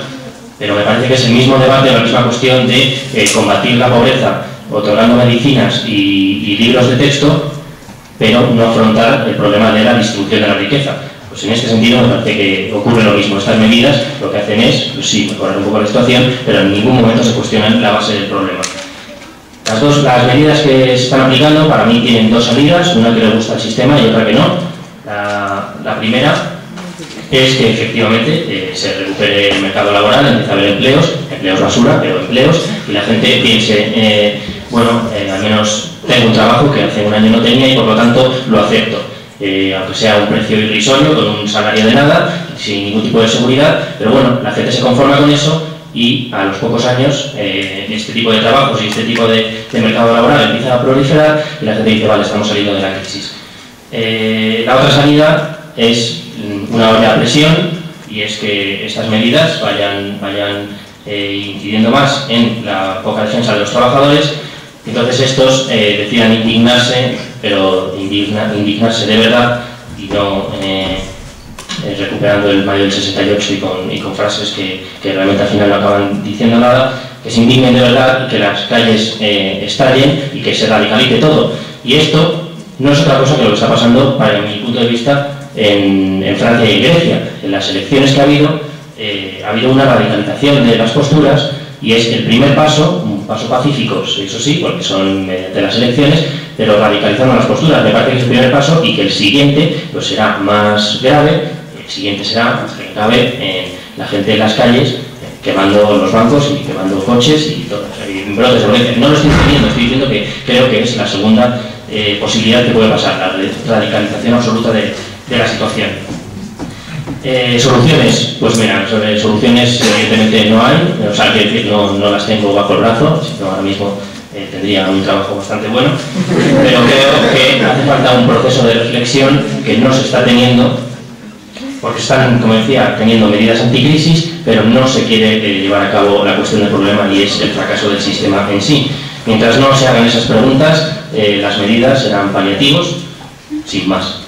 Eh, el profesor Magisteros hablaba de la debacle que supondría la quiebra del, euro para los países de Europa y para la economía mundial, y es cierto, sería un desastre monumental en cuanto a las economías, pero eso precisamente lo que debería, preguntar, lo que debería hacernos preguntar es hasta qué punto es sano que exista esta interdependencia mundial de todos los países, eh, de que en Croacia eh, se cae la bolsa y, y, tiembla todo, cosas así, hasta qué grado eso es sano o debemos recuperar un poco los mercados internos, la independencia de cada uno, eh, no, en sentido egoísta, pero sí que creo que haya que eh, recuperar el, mercado interno y un poco la soberanía nacional de cada, país para, no depender tanto del resto, porque creo que en los últimos años dependemos del comercio internacional, de las exportaciones, de una manera excesiva y hemos dejado de lado, bueno, vosotros los mexicanos eh, más que nadie, habéis dejado de lado vuestros productos eh, nacionales, vuestros productores, vuestras fábricas y ahora dependéis del resto de países y entonces si el resto de países se desploman vosotros seréis los siguientes,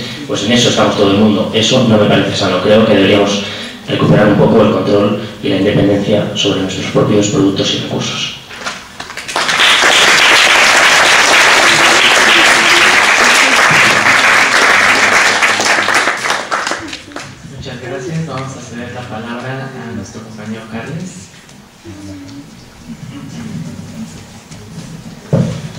Los economistas ortodoxos usan una expresión que para mí es un eufemismo nefasto, que es de evaluación competitiva, entonces agradezco que Arthur haya, dado peros y señales de bajar salarios. Eh, las bajadas de salarios, de hecho, ya, ya existen. Ayer leía que en España en los últimos dos años han bajado un 6% el salario real y en Grecia hasta un 20%. Y sin embargo, este año vamos a volver a entrar en recesión. Eh, además, eh, desde finales de los, de los 90 hasta 2005, en el Estado español, el salario real se mantuvo estancado, igual que el alemán. Entonces no creo que sea tanta solución.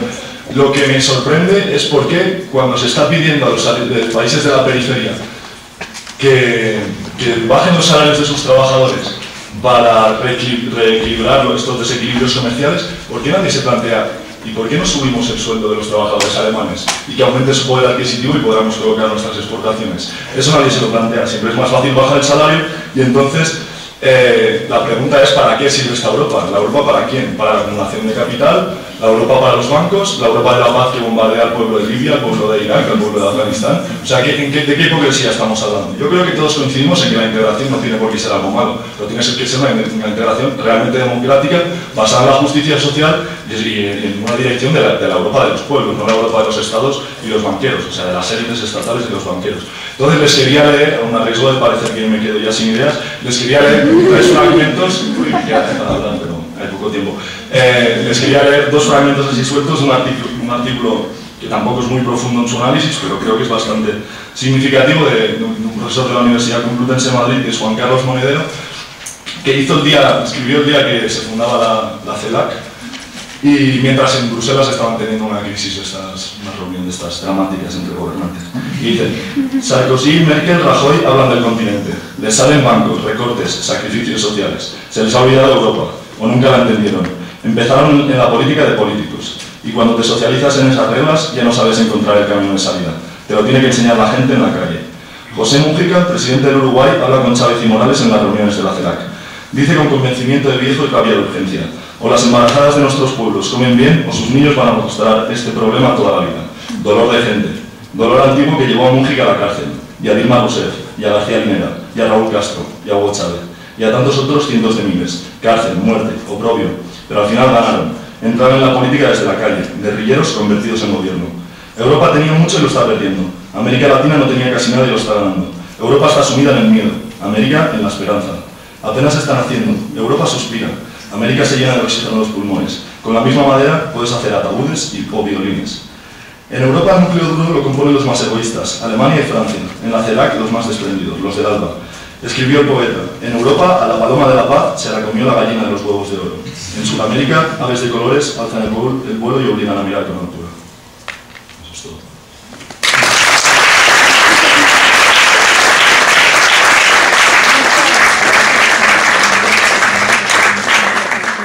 Gracias, le cedo la palabra a nuestro compañero Timo, por favor. Gracias, Carlos.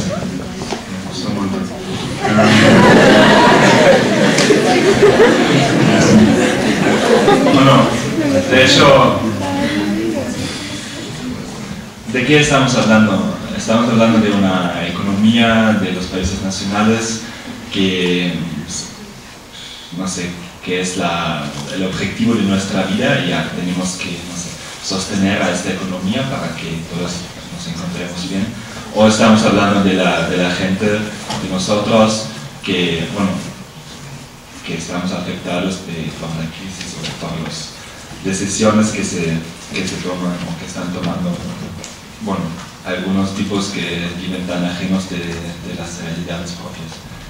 Entonces, es chistoso porque ayer ya, ya les dije a, a Carles y a Víctor que seguramente una persona de, este, de, esta mesa va a hablar con cifras macroeconómicas um, favoreciendo la, de que todos nosotros apretamos el cinturón o que hay que flexibilizar el mercado laboral, la competitividad es la neta y no sé qué. Um, entonces eso fue bastante previsible.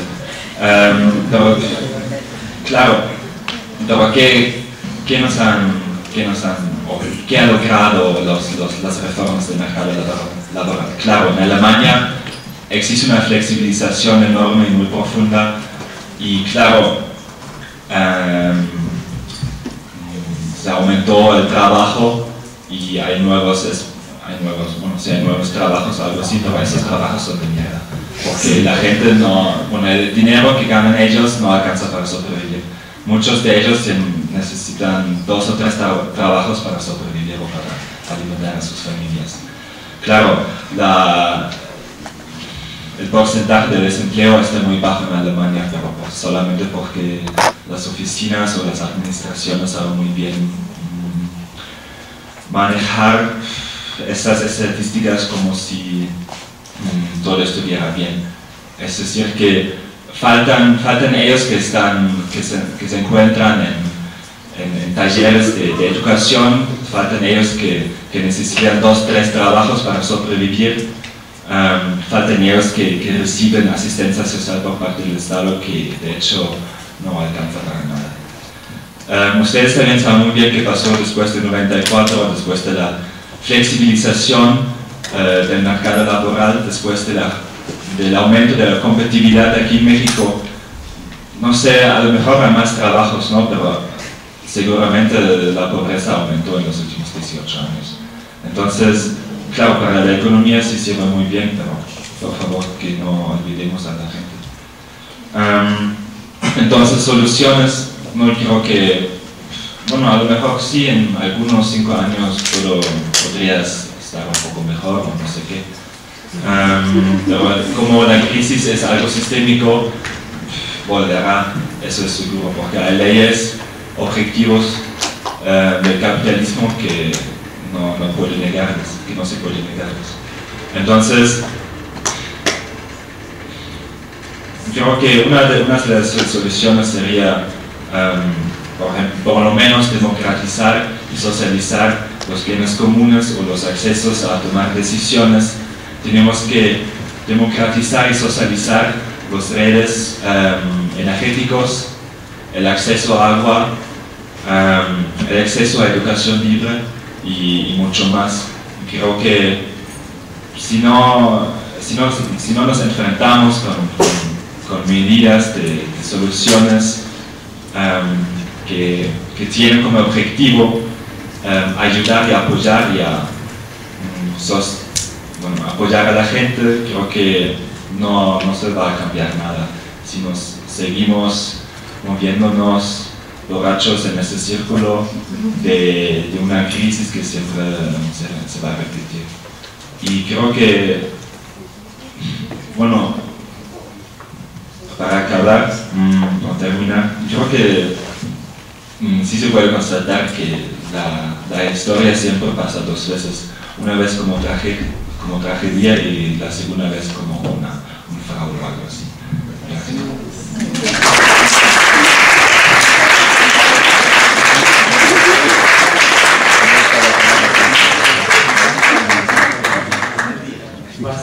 Palabra a Artur. Gracias. Tengo, quiero resumir esta práctica.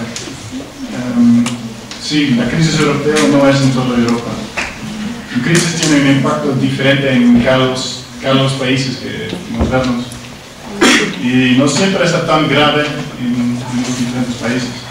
Y ta, también hay diferentes soluciones por cada país y cada política.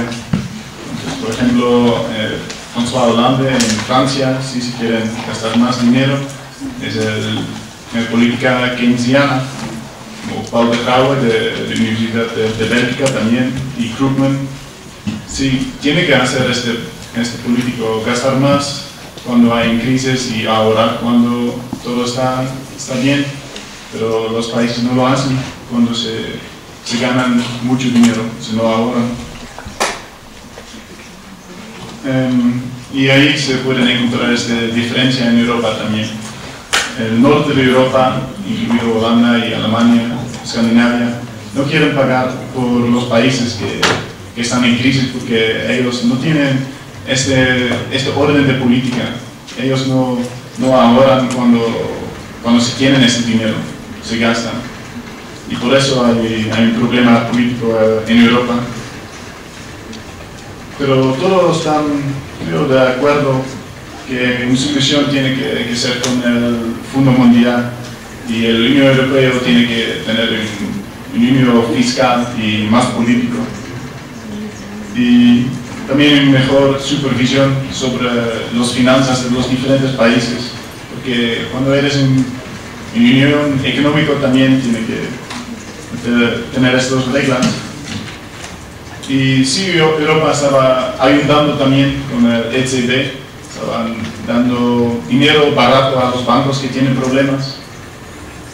La mayoría de los bancos sí están en España, Grecia, entonces sí, Europa está ayudando. Y con ese dinero se crean inflación y esas cosas son, son peor por los países que tienen ahorros. Entonces sí, en este, este aspecto también estamos ayudando. Pero lo más importante es los países van a ganar competitividad. Los jóvenes tienen que em, tener esta posibilidad para trabajar en España, sí. Porque ahorita no se tienen trabajos, es como prácticas y si no ganan nada de dinero. Y eso es porque los gente que tienen un buen contrato se, se ganan más y hay una gran diferencia. Mm. Y por eso también se van a trabajar en otros países. Y creo eso es bueno. Los españoles, los jóvenes tienen esa posibilidad para trabajar en Alemania, para trabajar en Holanda, para trabajar en los países que necesitan gente que tiene buena educación. Entonces sí, Europa está, está ayudando a los, a, los, jóvenes que no tienen trabajo en España, pero sí se tienen que adaptar o aprender un idioma, inglés. educación está muy, muy importante ahí. Y con esta competitividad también em, se puede ganar eh, dinero por el current account balance, por, em, Alemania, por ejemplo, Alemania, los Países Bajos y Irlanda se exportan más que se importan, entonces por eso se ganan dinero. ¿Y qué países están abajo de esta lista? Sí, son Italia y España. Ellos no, no exportan, es por la competitividad, entonces se, necesitan mejorar esto. Pero ya también, digo, como Europa necesitan democracia, sí, como unidad en Europa es lo más importante. Y los políticos tienen que tomar, los, eh, tomar la responsabilidad de esta crisis y en Holanda se han hecho. El gobierno se cae, pero los otros partidos políticos juntos estamos diciendo, sí, tenemos que hacer estos recortes. En dos días se han hecho, sin gobierno, pero con responsabilidad del país, sí, tenemos que hacer recortes.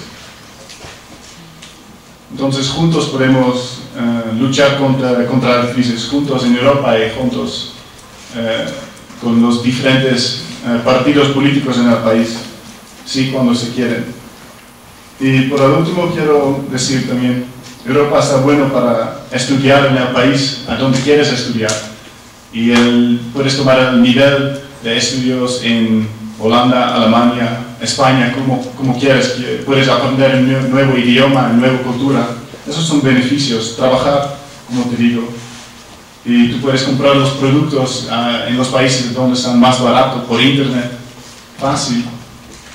Y eso también es competitividad, eso es Europa, esos son los, uh, los mejores cosas. Nosotros tenemos para, para mi, mi sentimiento al menos. Gracias.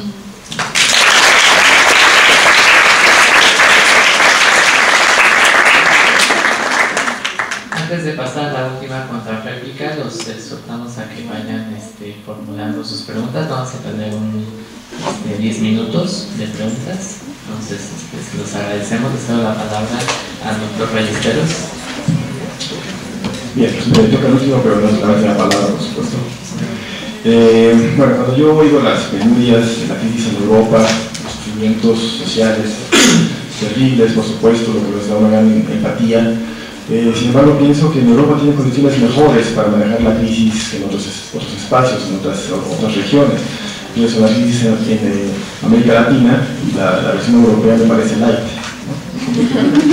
Eh, y esto va a que tiene efecto. Europa tiene, tiene potenciales económicos, fiscales, estructurales muy desarrollados que yo pienso que van a permitirles salir adelante todos sabemos que el capitalismo funciona así, funciona con auges y con crisis. Estamos en una crisis de una recuperación.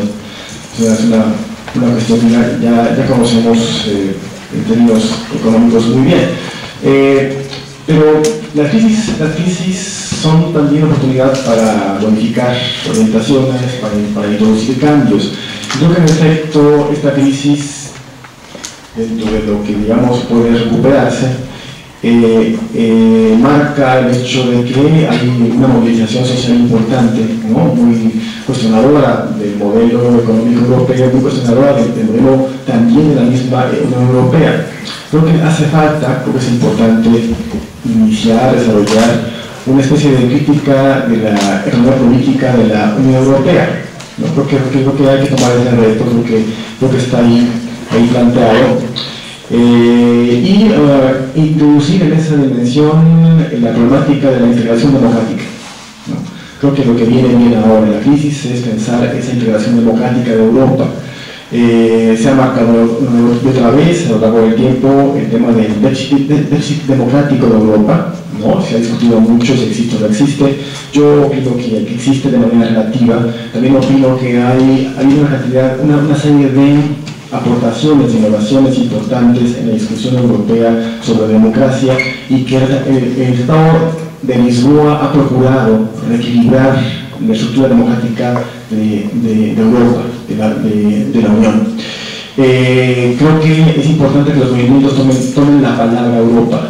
¿no? Creo hay instancias que no son utilizadas y que están planteadas en la estructura misma de la política europea. Eh, por ejemplo, por ejemplo eh, a partir del Tratado de Lisboa es posible eh, establecer iniciativas ciudadanas a partir de un millón de firmas. No veo ninguna iniciativa ciudadana a partir de un simple millón de firmas, que hay tanta, indignación. No se están utilizando los espacios democráticos de Europa. ¿no? Hay un vacío que llenar allí importante. El Parlamento Europeo ha tomado un mayor poder ahora en la estructura europea de decisiones. Hay que aprovechar esta posición actual del Parlamento Europeo. Es importante impulsar una democracia desde abajo, impulsar una, democracia que haga del Parlamento una instancia efectiva de transmisión de las necesidades, objetivos y, propósitos de los pueblos, de los ciudadanos europeos. Hace falta impulsar una opinión pública europea que no existe. El trabajo político en Europa es inmenso, no ni siquiera comenzado, eh, y creo que pues ahí hay una, una, una, ventana de oportunidad, como se dice en, el lenguaje tecnocrático, eh, para iniciar nuevas cosas. Creo que si, si, si, insisto, se le toma la palabra a, Europa, al planteamiento europeo, a su necesidad importantísima de legitimación, los movimientos tienen una orientación importante que, eh, asumir. no, estoy, no estoy realmente de acuerdo en esta idea de que el movimiento es el puro movimiento yo creo que, creo que es importante dar orientación a, los movimientos y creo que es importante aprender los movimientos. Europa ha sido el madre de revoluciones, como se le conoce. ¿no? Entonces creo que hay mucha experiencia acumulada eh, y creo que es tiempo de innovar. Eh, hay un, documento que ha, circulado por allí que se llama el Manifesto Europa, el Manifiesto eh, por Europa, que han iniciado un conjunto de intelectuales europeos muy, muy, muy destacados, ¿no? Eh, que proponen una transformación de Europa desde la, desde la base, ¿no? desde, desde, la raíz. Creo que es importante, en efecto, el desarrollo una, una Europa de los ciudadanos, pero tomar realmente en serio el tratamiento y no quedarse únicamente en la pura protesta. La protesta tiene su sentido, pero ir más allá es importante. Entonces, esa innovación es la que se espera de Europa. Creo que es un camino largo por recorrer. Estaremos observando ese proceso.